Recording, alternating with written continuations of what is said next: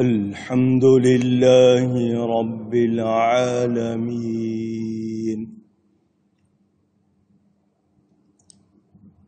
والصلاة والسلام على رسوله سيد المرسلين.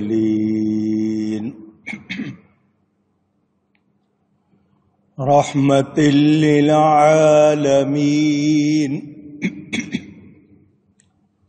خاتم النبيين.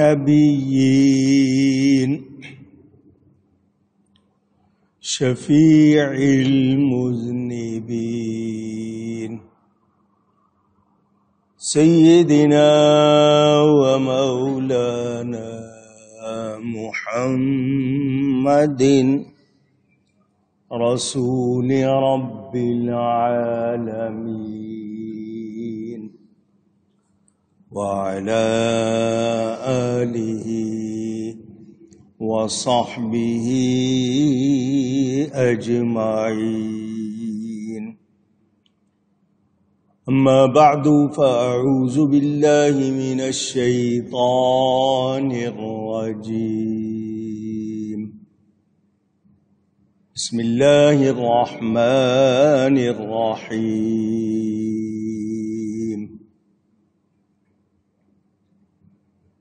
وإلى مدين أخاهم شعيبا فقال يا قوم فقال يا قوم اعبدوا الله وارجوا اليوم الآخر ولا تعثوا ولا تعثوا في الأرض مفسدين. صدق الله العلي العظيم. محبت کے ساتھ ایک مرتبہ دروشی پڑھ لیجیے۔ اللهم صل على سيدنا ومولانا محمد معدن الجود والكرم وآله وصحبه وبارك وسلم الصلاة والسلام عليك يا رسول الله الصلاة والسلام عليك يا حبيب الله. الصلاة والسلام عليك يا رحمة للعالمين.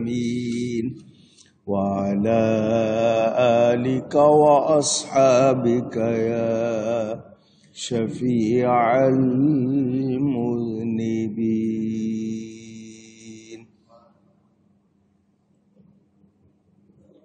حمد و سلاد کے بعد قرآن کریم کی سورت العنکبوت کی تفسیر کا بیان آپ سن رہے ہیں اور اس میں ذکر اس وقت ہو رہا ہے حضرت لوت علیہ السلام کا۔ ان کی قوم نے وہ کام کیا برا۔ جو اس سے پہلے کسی اور نے نہیں کیا تھا۔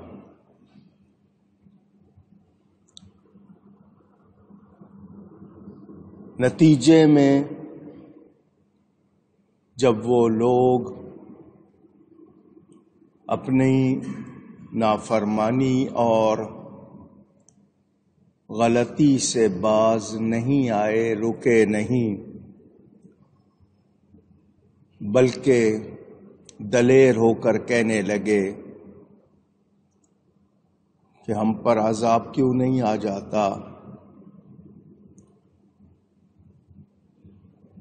تو اللہ تعالی نے ان پر عذاب کو اتارا۔ میں نے یہاں قرآن کریم کے الفاظ کے مطابق آپ کو بتایا تھا کہ عذاب اتارنا اللہ کا کام ہے، مگر فرشتوں نے کہا کہ ہم آپ کو اور آپ کے گھر والوں کو نجات دیں گے۔ نسبت فرشتوں کی طرف ہوئی۔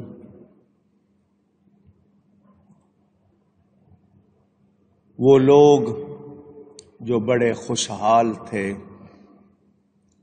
کالے پانی کے، سیاہ پانی کے چشمے بہنے لگے، جنس کی بو جیسے گٹر کا پانی ہوتا ہے، اتنی تھی کہ بہت دور سے محسوس ہوتی تھی۔ ان پر پتھر برسے اور پتھروں پر ان لوگوں کے نام لکھے ہوئے تھے۔ ایک مدت تک وہ پتھر بھی باقی رہے۔ نبی کریم صلی اللہ علیہ وسلم کے کئی صحابہ نے وہ پتھر بھی دیکھے۔ ان کے مکان ویران ہو گئے۔ اور باقی نہ رہے۔ کیونکہ وہ زمین کا طبقہ پلٹا دیا گیا تھا۔ اوپر کا حصہ پلٹ کر نیچے کر دیا گیا تھا اپ سائڈ ڈاؤن جس کو کہتے ہیں۔ اللہ فرماتا ہے، اور بے شک ہم نے اس سے روشن نشانی باقی رکھی عقل والوں کے لیے۔ آج دنیا بڑی عقل مند کہلانا چاہتی ہے۔ عقل سے مراد کون سی عقل؟ جو حق کی طرف رہنمائی کرے۔ جو آپ کو ایمان کی طرف، نیکی کی طرف، بھلائی کی طرف، سچ کی طرف لے جائے۔ یہ نئی نئی چیزیں بنانا۔ لوگ اسی کو عقل کہتے ہیں۔ حالانکہ عقل سے مراد وہ جو آپ کو ہدایت پر رکھے، بھلائی اور اچھائی پر رکھے۔ حضرت لوت علیہ السلام کی قوم کا انجام، جو کچھ ہوا وہ سن کر بھی اگر آج ہم لوگ اپنے آپ کو درست نہ کریں۔ ہم نیکی اور حق کی طرف نہ آئیں تو پھر ہم بھی عقل والے شمار ہو سکتے نہیں۔ سمجھدار وہی ہے جو سبق سیکھے، اپنے آپ کو نقصان سے بچائے، اللہ کے غضب سے بچانے کے لیے محنت کرے۔ حضرت نو کا ذکر سنا آپ نے، پھر حضرت ابراہیم کا، پھر حضرت لوت کا۔ اب ذکر ہے حضرت شعیب علیہ السلام کا۔ اللہ فرماتا ہے، وَإِلَى مَدِيَنَ أَخَاهُمْ شُعَيْبًا اور مدین، یہ علاقے کا نام ہے۔ مدین کی طرف ان کی ہی قوم کے شعیب علیہ السلام کو بھیجا۔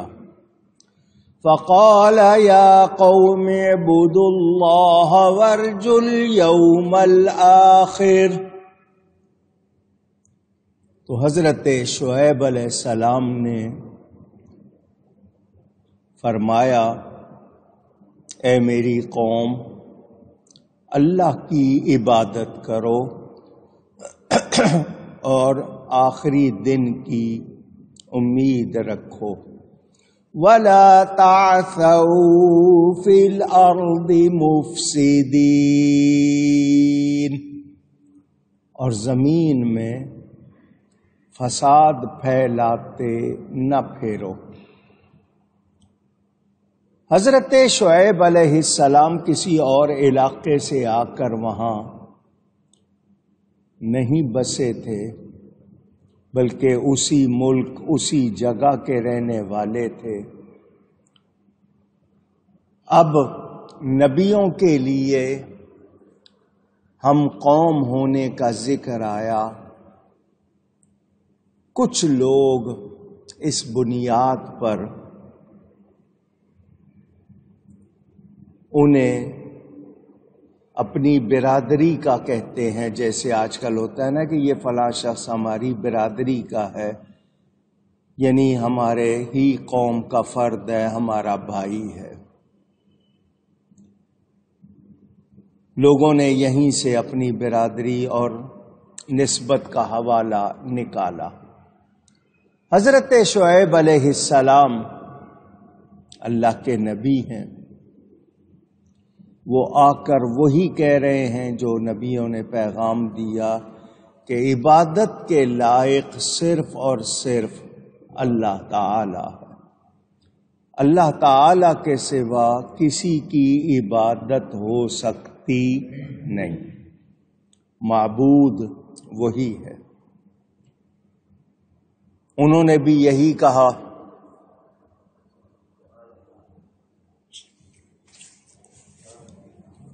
قوم کو یہی پیغام دیا کہ اللہ کی عبادت کرو۔ اور آخری دن، قیامت کا دن، وہ ایمان والے کے لیے امید کا دن ہے، کافر کے لیے خوف کا دن ہے۔ جب ایمان لاؤ گے، اللہ کی بندگی کرو گے، تو پھر امید رکھو اس دن اللہ تمہیں بخش دے گا، انعام دے گا۔ یعنی ایمان لا کر آخرت کی تیاری کرو۔ یہ نبیوں کا پیغام ہے، ہر نبی نے اللہ ہی کی عبادت کے لیے لوگوں کو بلایا۔ آج اگر کوئی جاننا چاہے تو اس کو واضح طور پر یہ پیغام ملے گا، رہتی دنیا تک، ابتدا سے آخر تک۔ سب کو یہی کہا گیا کہ اللہ کے سوا کوئی عبادت کے لائق نہیں۔ بندگی اسی کی کرنی ہے۔ اللہ والوں کی تعظیم کی جائے گی، مگر عبادت صرف اور صرف اللہ کا۔ وہ جو کوئی آگ کی، ہوا کی، پانی کی، تاروں کی، چاند کی، سورج کی پوجا کرتے ہیں، اپنے ہاتھوں سے بت تراش تراش کر ان کی پوجا کرتے ہیں۔ ان کو بھی جان لینا چاہیے۔ کہ اللہ کے سوا کوئی عبادت کے لائق نہیں۔ اللہ تعالی کا کوئی شریک نہیں۔ اس جیسا بھی کوئی نہیں۔ نبی ولی بھی اللہ کی مخلوق ہیں۔ ان کی بھی عبادت ہو سکتی نہیں۔ عبادت ہوگی تو صرف اور صرف اللہ تعالی کی۔ قوم کو ہر نبی نے یہی پیغام دیا۔ ہمارے پیارے نبی پاک صلی اللہ علیہ وآلہ وسلم آخری نبی ہیں۔ ان کے بعد کسی قسم کا کوئی نبی نہیں۔